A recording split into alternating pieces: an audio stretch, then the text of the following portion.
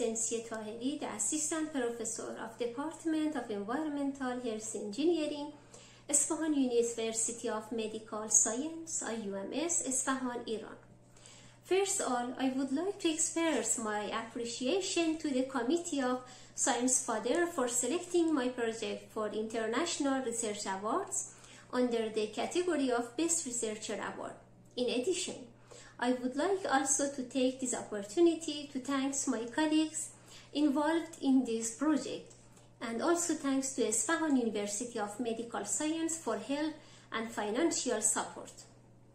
I received my PhD from IUMS Iran in 2018 in the field of environmental health engineering. For the first appointment, I have been served as associate professor at the Environment Research Center and at School of Health at the Department of Environmental Health Engineering of IUMS since 2019.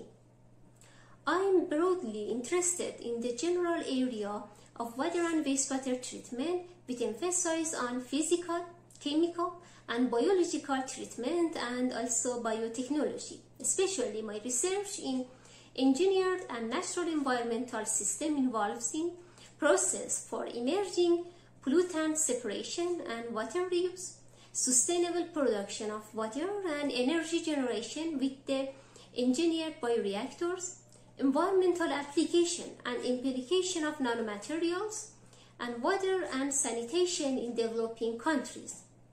Part of my studies are focused on the role of environmental pollutants and chemicals on the development of the early life origin of adult chronic disease. I have quoted in more than 30 highly cited journal publications and received awards from the Iranian National Elites Foundation in 2017. I have research collaborator from USA, India, Finland, and Malaysia. Thanks a lot for your attention.